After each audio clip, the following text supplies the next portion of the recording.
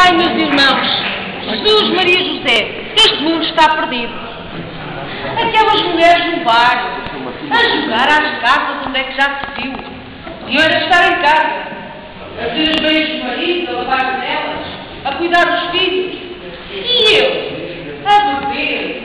Ora, o homem não podia estar também, ou a fazer jardinagem, ou a trabalhar. Agora a beber, a beber, a beber, onde é que já se viu? Por isso é que este país está perdido. Tem que virmos lá fora, Instalar a troika aqui para que essa coisa funcione. Parece impossível. Eu havia de levar até para o meu convento, lá para aquela hortinha biológica, entre os pepinos e o tomate, haviam de dar jeito de tirar as ervinhas. E se calhar ainda convidava aquela menina que canta maravilhosamente para as Ave Marias da missa. Vou pensar nisso. Entretanto, recolho-me e vou fazer mais umas leituras.